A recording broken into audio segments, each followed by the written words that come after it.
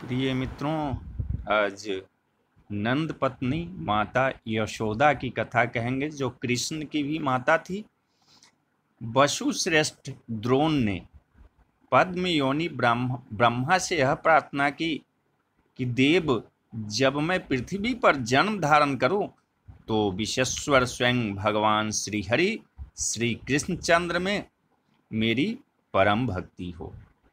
इस प्रार्थना के समय द्रोण पत्नी धरा भी वहीं खड़ी थी। धरा ने मुख से कुछ नहीं कहा, पर उनके अनु अनु में भी यही अभिलाषा थी।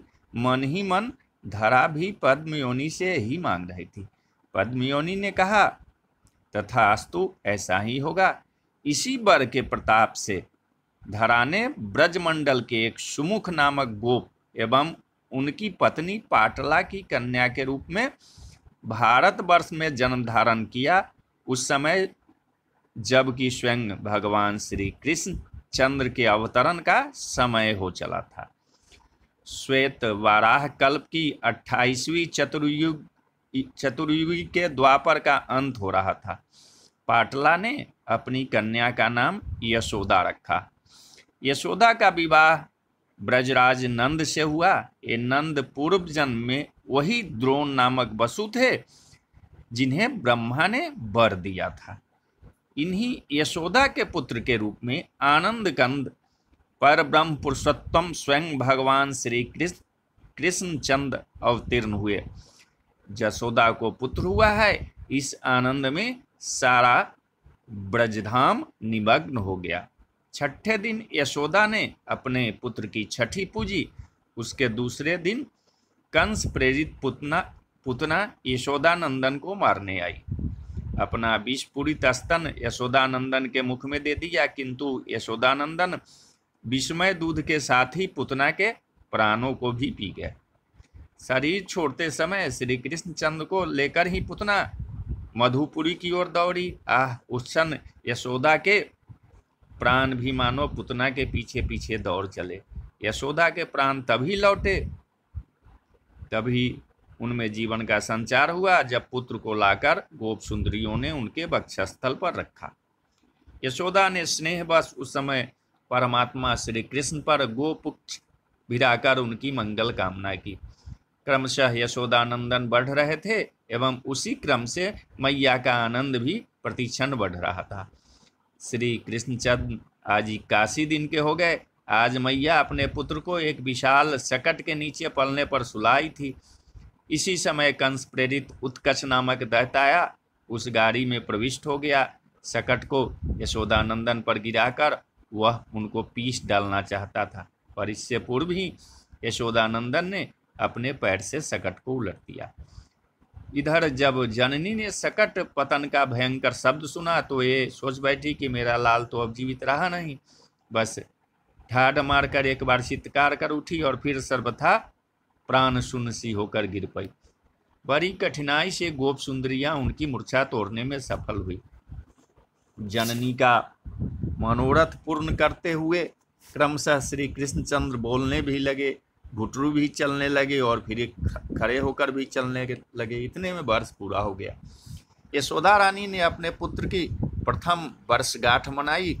इसी समय कंस ने तृणावर्त दैत्य को भेजा, वह आया और जसोदा के नीलमणि को उड़ाकर आकाश में चला गया।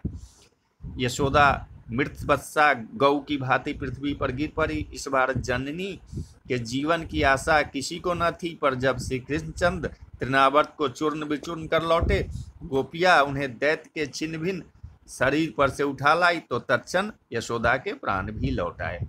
देखते देखते नीलमणि दो वर्ष, दो महीने के हो गए। पर अब नीलमणि इतने चंचल हो गए थे कि यशोदा को एक क्षण भी चैन नहीं। गोपियों के घर जाकर तो न जाने कितने दही के भार फोड़ ही आया करते थे।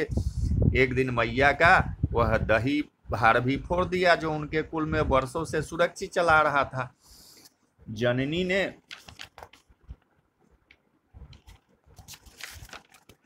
डराने के उद्देश्य से श्री कृष्णचंद्र को उखल में बांधा।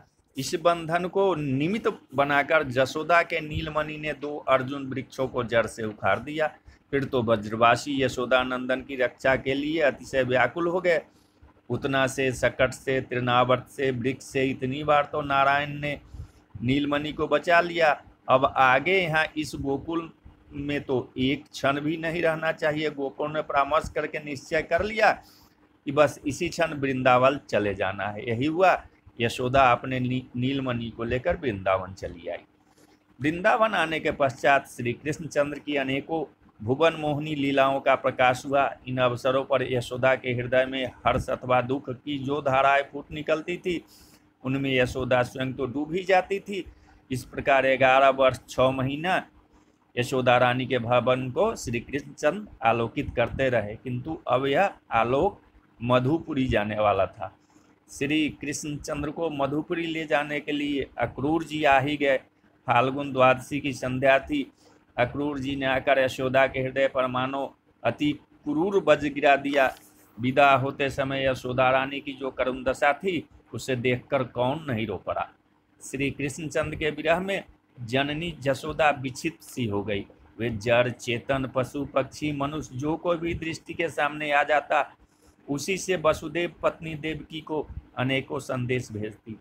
किसी पथिक ने यशोदा का संदेश श्री कृष्णचंद्र से जाकर कह भी दिया। सांत्वना देने के लिए श्री कृष्णचंद्र ने उद्धव को भेजा। उद्धव आए, पर जननी के आँसू पोष नहीं सके। यशोदा रानी का हृदय तो अब तब शीतल हुआ, जब वे कुरुक्षेत्र में श्री कृष्णचंद्र से मिली। राम श्याम को हृदय से लगा कर गोद में बैठाकर उन्होंने नव जीवन पाया। श्री कृष्णचंद्र अपनी लीला समेटने वाले थे, इसलिए अपनी जननी यशोदा को भी पहले से भेज दिया। जब भानुनी नंदनी, गोलोक बिहारनी, श्री राधा किशोरी जी, किशोरी को ये विदा करने लगे तो गोलोक के उसी दिव्य, अति दिव्य विमान पर जननी को भी बिठाया तथा राधा किशोरी के साथ ही यशोदा अंतर्ध्यान हो गई। गोलोक में पधार गई बोलिए जय श्री कृष्ण जय माता जसोदा जय श्री कृष्ण।